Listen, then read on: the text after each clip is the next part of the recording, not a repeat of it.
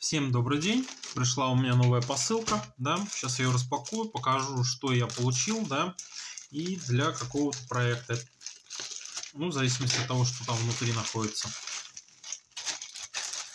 А вот тут у меня получается внутри это пришло оборудование телематическое с Китая. Используется оно на сервере Trackberry. Так и называется прям сервер, сервер trackberry.ru. Сейчас покажу. Работает с сервером отлично. Да, вот это проект по мониторингу за такси и машинами, которые находятся там под выкупом. Вот так вот выглядит трекер. Сейчас открою, покажу, что тут есть внутри. Тут есть световая индикация, микрофона тут нету. Настраивается, кстати, он довольно легко.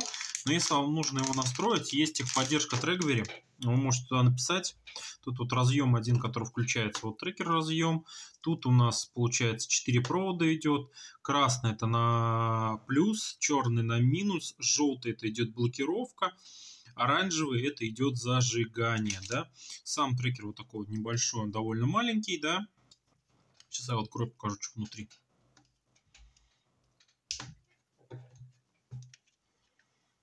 Используем с партнерами для такси и мониторинга транспорта там под выкуп, когда машины сдают. Вот тут вот так он выглядит, да, плата. А, тут вот сам SIM-чип, вот тут антенна выведена с этой стороны. Вот он GPS, тут есть USB-шка. Также сюда вот вставляется сим-карта. Он работает как от 12, так и от 24 вольт. Вот тут крутая вещь, да.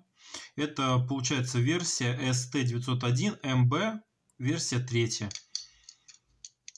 Так же как вот разобрал, он легко собирается.